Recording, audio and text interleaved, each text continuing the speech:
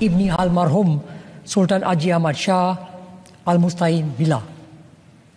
In my capacity as Dean of the Diplomatic Corps in Malaysia, and on behalf of the diplomatic community, it is my honor to extend our warmest congratulations and good wishes to Your Majesty on the occasion of Your Majesty's birthday.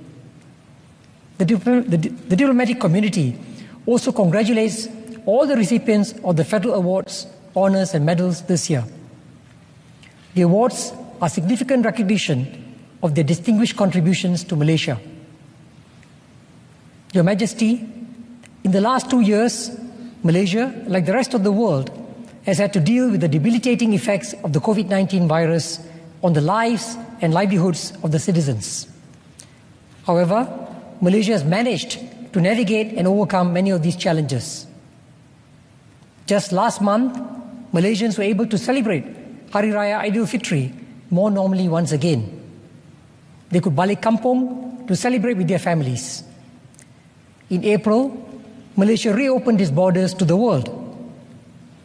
During uncertain and difficult times like COVID 19, Your Majesty has provided confidence and reassurance to the Rakyat. With Your Majesty's wise counsel and support, the Malaysian government was also able to decisively tackle COVID 19. For example, Your Majesty encouraged Malaysians to take their COVID 19 booster shots and urged the Rakyat to observe good health practices during Hari Raya. As Malaysia transitions to treating COVID 19 as an endemic, it is timely for us to celebrate Your Majesty's birthday today. Your Majesty, there are still other challenges ahead. The global economic outlook remains difficult. We also need to confront other imminent global challenges like climate change. The pandemic is also not over yet. With Your Majesty's guidance, Malaysia has been a highly responsible member of the international community throughout the pandemic. Even as the government was tackling the difficult COVID 19 situation at home, Malaysia demonstrated a generosity of spirit to other countries, such as by donating vaccines. Malaysia also continued to contribute to the regional and global agendas and strengthened its international partnerships. I am confident that under Your Majesty's leadership, Malaysians will continue to look to the future with confidence and work in partnership with the international community to build a better future for all. In this regard, the diplomatic community in Malaysia stands ready to work closely with Your Majesty, the Malaysian government, and the Malaysian people. Your Majesty, once again, on behalf of the Diplomatic Corps in Malaysia, a very happy birthday. We wish Your Majesty and Her Majesty good health, happiness, and success on this occasion. We also wish Malaysia well and pray for Malaysia's continued success. Selamat menyambut ulang tahun Hari Keputeraan Your Majesty. Thank you.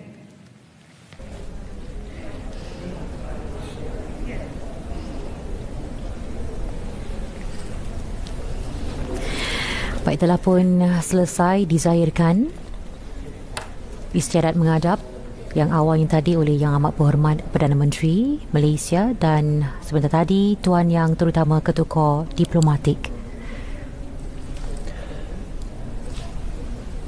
Seterusnya pengumuman oleh Pegawai Istiadat untuk titah ke bawah Yang Maha Mulia Sri Paduka Baginda Yang di-Pertuan Agong.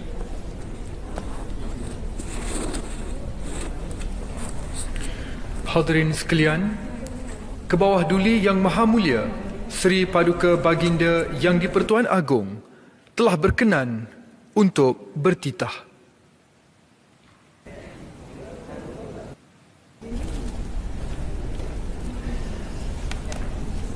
Setiausaha sulit kepada Sri Paduka Baginda Yang di-Pertuan Agong akan menghadap untuk mempersembahkan naskah titah ucapan ke bawah duli Yang Maha Mulia Sri Paduka Baginda Yang di-Pertuan Agong.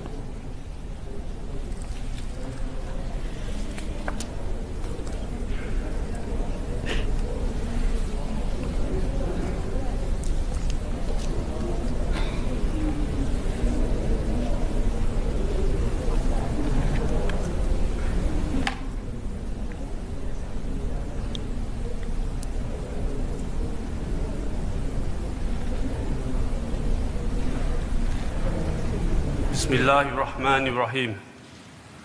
Alhamdulillah Rabbil Alamin. Wassalatu wassalamu ashrafi anbiya wa mursalin Wa ala ahlihi wa ajma'in. Assalamualaikum warahmatullahi wabarakatuh. Segala puji kehadrat Allah Subhanahu wa taala. Maha suci Tuhan yang memiliki segala kemuliaan.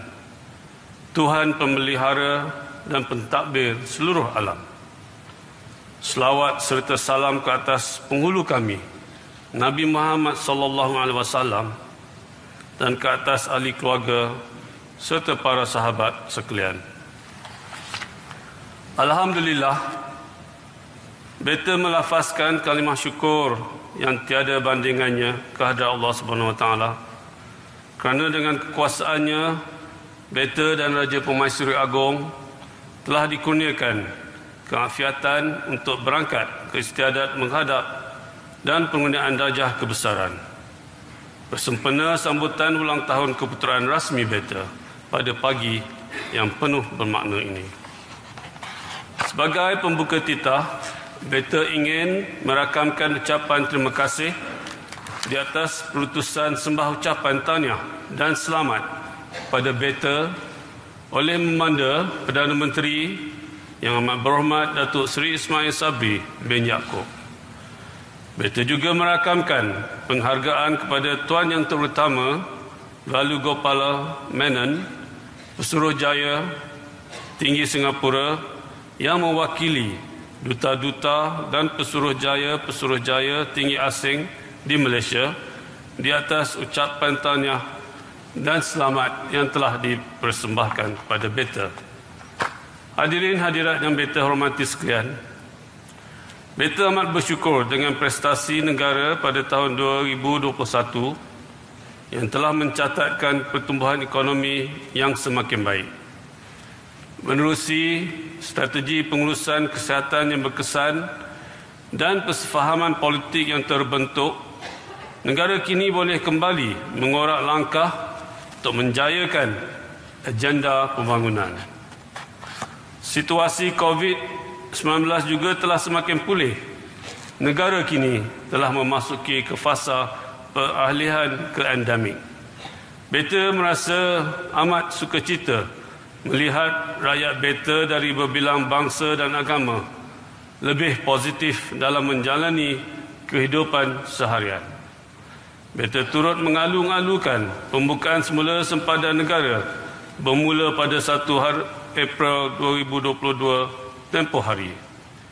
Langkah ini diambil setelah kerajaan Beta mengimbangi strategi pengurusan kesihatan berbanding dengan pemulihan semula ekonomi negara yang terjejas sebelum ini. Beta berkeyakinan pembukaan sepadan negara mampu untuk menjana dan memulihkan semula ekonomi negara bagi memastikan kelangsungan dan ketahanan ekonomi negara pasca pandemik COVID-19, kerajaan haruslah terus bijak mengatur langkah dan mengambil peluang dengan menerokai pelbagai strategi baru yang berinovatif. Sebarang defisit keyakinan yang wujud terhadap keupayaan negara hendaklah segera ditangani bagi membolehkan negara bangkit semula di pesada dunia. Bagi mencapai maksud tersebut, negara memerlukan sebuah kerajaan yang stabil serta didokong dengan sistem penyampaian perkhidmatan dan tabir urus yang cekap, yang tulus, yang berintegriti, yang mesra perniagaan dan yang mesra rakyat. Demi untuk merancangkan pertumbuhan ekonomi dan menjadikan negara sebagai pilihan pelaburan utama di rantau ini, ianya menuntut persefahaman dan pengorbanan semua pihak untuk mewujudkan lanskap politik yang lebih stabil dan lebih berterusan. Beta benar-benar berharap agar segala percaturan politik dapat diselesaikan segera demi untuk mengelak negara dari terus keterjerumus ke kancah defisit keyakinan yang boleh menjejaskan imej dan masa hadapan negara. Hadirin hadirat yang beta sanjungi sekalian, pemimpin